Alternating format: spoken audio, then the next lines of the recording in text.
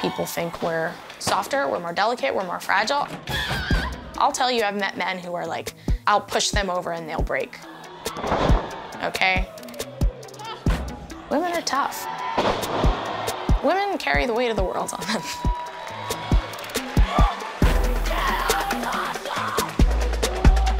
The women's wrestling revolution has opened up new doors for female performers, and it's changed the stereotypical way that they were portrayed. But that doesn't mean everything's perfect. There's still a long way to go to make wrestling a more welcoming place for everyone. In our final episode, we look at the progress that women have made and what still needs to change in order for them to secure the spotlight that they deserve. This is how seven women in the world of pro wrestling have helped change the business for the better.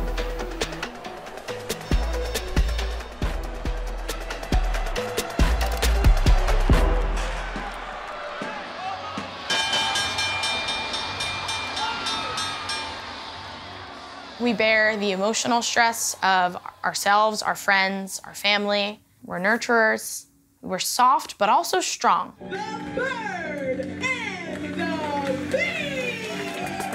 It's a very hard thing to balance. But women wrestlers, especially, like, kind of find a very beautiful way to kind of make that duality work soft but strong. I just think we have to slowly but surely change people's minds. There's a lot of men out there that still want that sexy wrestling. And I don't think it's gonna go back to that. And I think that they're just gonna have to accept it.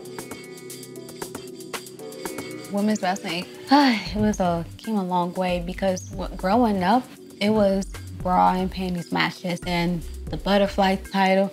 But now, like the women, they're bra, they're very brolic and they don't look like women. They look like wrestlers, like jacked. I'm like, wow.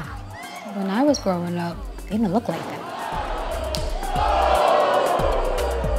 You have girls of all shapes and sizes and backgrounds and women who are martial artists, power lifters, swimmers, the list goes on. Basketball players, all, dancers, even models, actresses, all kinds of women uh, come together and train for wrestling and they do their thing, and it's amazing. Around the corner, oh, there's the wow. pump kick. Takes Diamante off her feet. Oh, man. I feel like women have done a really good job in the last few years of like showing like, hey, we're more than just a popcorn match. Don't walk away from our match. Like you're gonna see some good stuff out here. You're gonna be entertained. You're, it's gonna be great.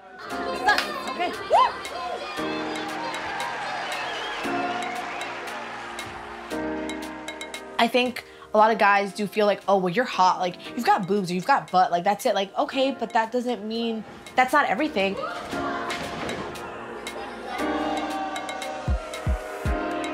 I don't think women should be a special attraction anymore. I think we should have the same amount of women's matches on the card as men's matches. I think we should be paid the same. And I know I'm tired of it, and I know most women are tired of being seen as the special attraction when it's not that at all. Think there is still maybe like a little bit of a stigma that women's wrestling isn't necessarily of the same standard as men's wrestling. It's all wrestling, like intergender wrestling, women's wrestling, tag team wrestling. It's all the same thing. Like we're all doing the same thing. Our gender shouldn't dictate what it is. It's fine, we can hang. We'll be okay. If we get cut, if we get bruised, we'll wipe it off and we'll come back next week and do it all over again. So it's fine. Don't make a big fuss about it. Diamante.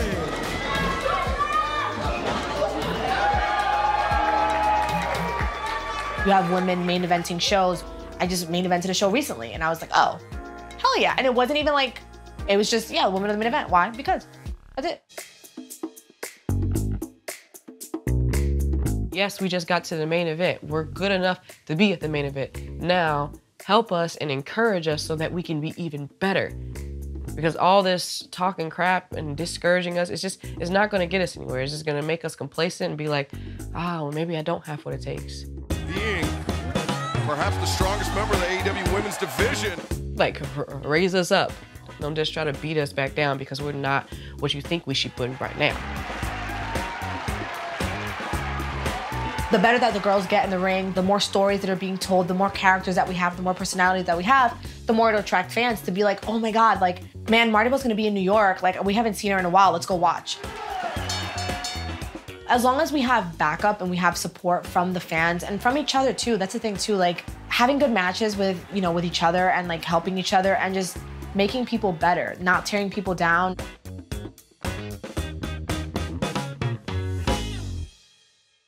I feel like women can get lost in it. Kiera Hogan.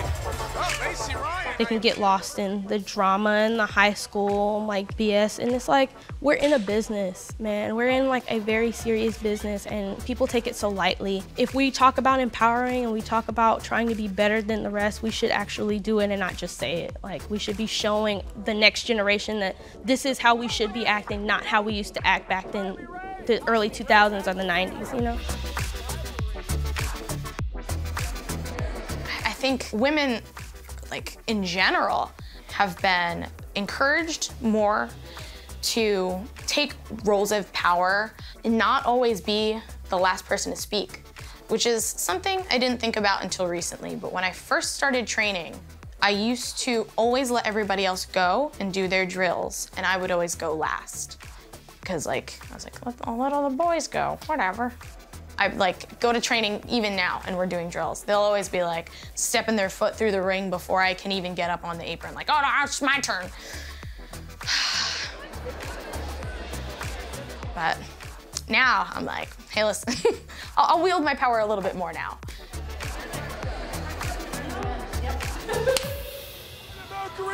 Here we go. Grace Driver, shoulders down. It's changed so much since I first started when I was 14. Like, even then, men would say things to me that were extremely, like, degrading and they would put me down all the time and just women's wrestling was seen as, as a joke. Knockout champion, Jordynne Grace. And I think the Me Too movement really changed things for wrestling. If you see someone that's in a position of power doing or saying something, even that may seem like a joke to a woman or even a man, I think that someone should stand up and say something.